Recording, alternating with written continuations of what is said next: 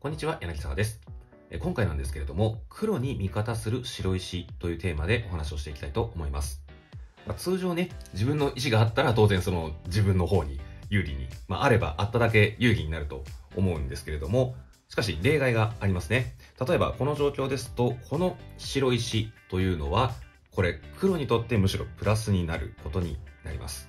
これがどういう意味かというのを例を出してお話をしていきたいと思います。まずこの形なんですけれども、えこの白があることによって黒はね、こちらの白地の中にかなり深く入ることができます。えつまり、ここまで行くことができるんですね。えこれで、えーま、白が押さえてきても、こうね、跳ねることで、白がね、ここに打てないんですね。はい。この印がなければここに打てるんですけれども、はい。ここにあるので、渡りを止めることができないということで、はい。黒、まあ、繋がっちゃうんですね。じゃあ白こっちに打って止めようとしても、まあ、これは黒取りから行ってもこっちから行っても、はい、えー、連絡することがやはりできています。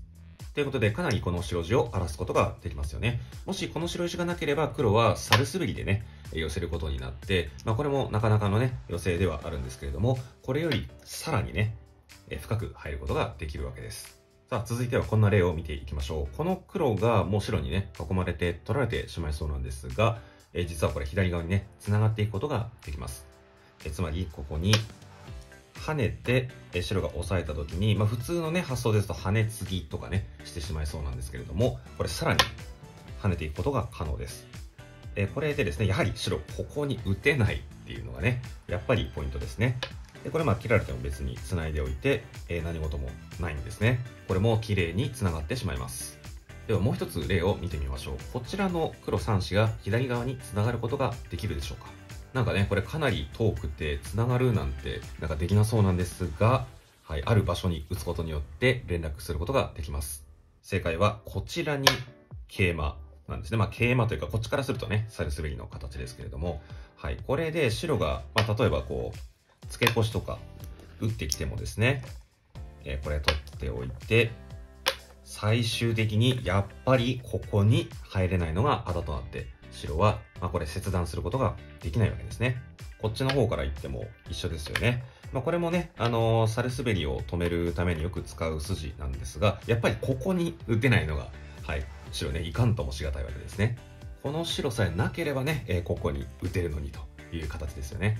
これはちなみに反対側にこう桂馬しますと、まあ、これはね、こう付け付けがありますね。これどっちから行ってもいいですけれども、はい。まあ、例えばこっちから行って、また挟みつけていくということで、これ、えー連絡が切れてしまいますよね。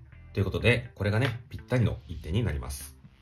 では、ここから少し切り口をね、変えていきたいと思います。ここまでは渡りの時に、こう黒に味方する白石というテーマでね、見てきたわけなんですが、ここからは死活においてですね、黒に味方する白石というのを見ていきたいと思います。例えば、こういう形。この白石ですね。これが黒に味方しています。えこれは黒ね、こう、押さえることによって、これ生きることができていますね。はい、白がここに打ってきても、繋いでおいて、はい、白がね、ここに打てない状態ですね。押しつぶしになっています。この白石がなければね、えここに打てるけれども、はい、ここにあるために、ここに打てないという形ですね。さあ、続いてこんな形もそうですね。えこれもこの白石があるために黒は生きることができます。えつまり、ここに打ちまして、えー二眼の生きですね。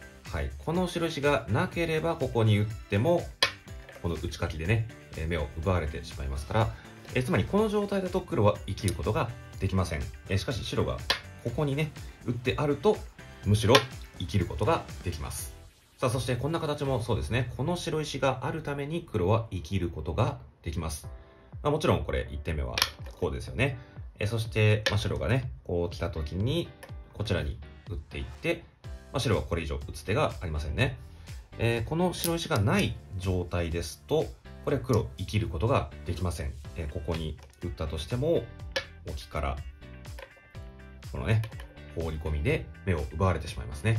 では、これを最後にしようと思いますが、こんな形もそうですね。はい、この白石が黒にとって味方となります。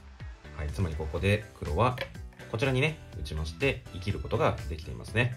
はい、まあこれうっかりこっちを取ってしまうとね、えーこう打たれて、えーこれはいけませんから、はい。まあ、これでいいわけですね。えー、そして、まあ、白がね、この石がない状態だと、これ黒はもうどう頑張っても生きることができません。えー、取れば、えー、ここだし、ここに打てば、もちろん、こう打たれて、目を奪われてしまいます。はい。ということで、いかがだったでしょうか。まあ、普段ね、あまりない切り口でお話をしてみました。まあ、こういうことがありますのでね、打ってむしろマイナスになって大逆転が起こるということがあり得るわけですよね。打たない方がいい場所、ない方がいい石というのがね、分かることで、むしろ、じゃあいい筋はね、いい形はどこなのかというのが分かってくるんじゃないかなと思います。皆さんがどんな風に感じたのか、えー、ぜひコメント欄で教えていただけると嬉しいです。